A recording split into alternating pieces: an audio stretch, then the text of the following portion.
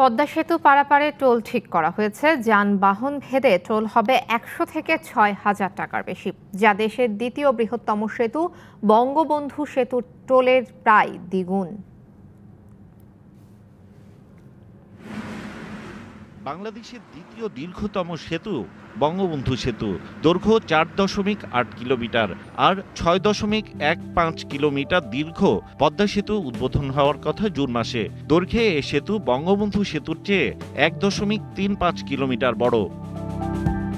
মঙ্গলবার পদ্মা সেতু পারাপারে টোল ঠিক করে গণবিজ্ঞপ্তি জারি করেছে সড়ক পরিবহন ও সেতু মন্ত্রণালয়। তাতে মোটরসাইকেলের জন্য টোল ধরা হয়েছে একশো টাকা, বঙ্গবন্ধু সেতুর জন্য তা পঞ্চাশ টাকা। কার ও জিপের টোল ধরা হয়েছে সাতশো পঞ্চাশ টাকা, বঙ্গবন্ধু সেতুতে তা পাঁচশো পঞ্চাশ টাকা।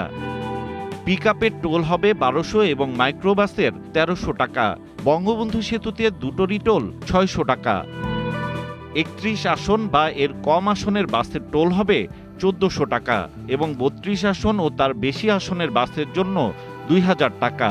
বঙ্গবন্ধু সেতুতে এর টোল সাড়ে সাতশো এবং এক হাজার টাকা। এছাড়া থ্রি এক্সেলের বড় বাসের টোল ধরা হয়েছে দুই হাজার চারশো টাকা। পাঁচ টনের ছোট ট্রাকের টোল হবে এক হাজার ছয়শো টাকা।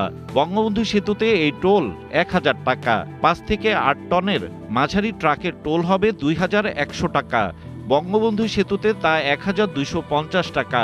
আট টনের বেশি ক্ষমতার মাঝারি ট্রাকের টোল ধরা হয়েছে দুই হাজার আটশো টাকা। বঙ্গবন্ধু সেতুতে তা এক হাজার ছয়শো টাকা। থ্রি এক্সেলের ট্রাকের টোল পাঁচ হাজার পাঁচশো টাকা ধরা হয়েছে। বঙ্গবন্ধু সেতুতে তা দুই হাজার টাকা।